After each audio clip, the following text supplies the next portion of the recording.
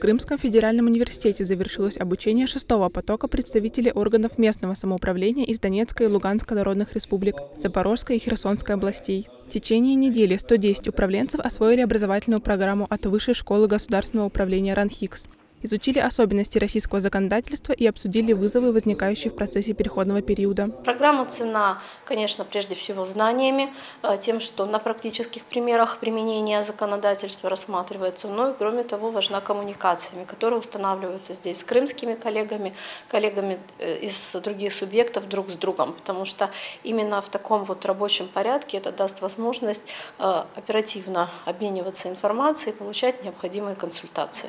Первый и третий эти модули образовательной программы объединены и реализованы для слушателей очно на базе университета. Второй этап обучения участники пройдут дистанционно в своих регионах. В течение недели для государственных и муниципальных служащих прошли лекции, мастер-классы и практические занятия от специалистов Крымского федерального университета, а также представителей государственной власти и предпринимателей республики. Одна из целей проекта – это еще и установление горизонтальных связей вашего дальнейшего взаимодействия и она достигается именно при очном модуле. И я надеюсь, что в дальнейшем вы познакомитесь, в дальнейшем будете продолжать сотрудничать друг с другом, помогать, подсказывать. Представители управленческого состава органов местного самоуправления и подведомственных учреждений регионов рассмотрели вопросы, касающиеся системы органов и компетенций местного самоуправления, правового регулирования, конституционного устройства, основ муниципальной службы, развития территории, публичной собственности, бюджетной политики и управления доходами бюджета.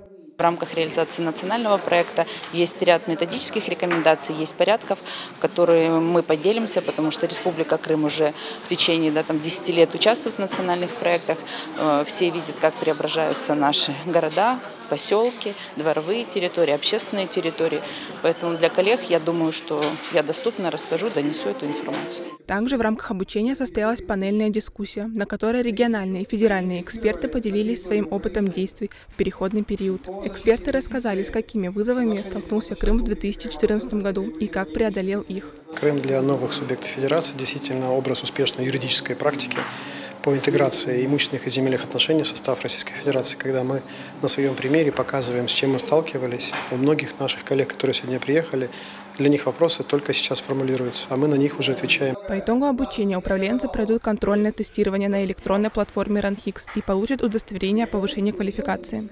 На мой взгляд, программа очень э, полезная для наших регионов. Очень много полезной информации для работы. Произошел обмен опытом Э, крымских сотрудников э, с нашими. Я считаю, это очень продуктивная программа была. Вместе с Крымским федеральным университетом базой для реализации программы стали еще три вуза. Ростовский филиал РАНХИКС, Севастопольский и Луганский государственные университеты. Они реализуют линейный управленческий уровень обучения. В 2023 году его прошли уже порядка 4000 руководителей и сотрудников органов публичной власти новых регионов России. Пресс-служба Крымского федерального университета.